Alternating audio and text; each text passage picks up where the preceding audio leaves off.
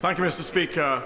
The Prime Minister may well have seen the astonishing sight of a former Scottish Government Minister standing up in the Chamber of Scottish Parliament and tearing up, literally ripping into pieces, the Scottish Government's highly protected marine area proposal.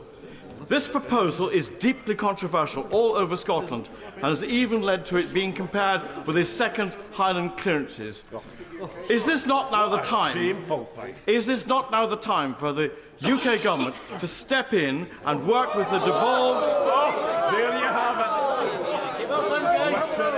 Mr. Speaker, I will not be silenced because it matters.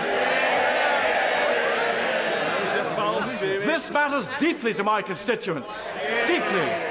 Is it not time for the UK government to step in, work with, work with the devolved administrations oh, to come up with a scheme that works and is acceptable, a conservation scheme that is acceptable in our fishing communities all around the UK?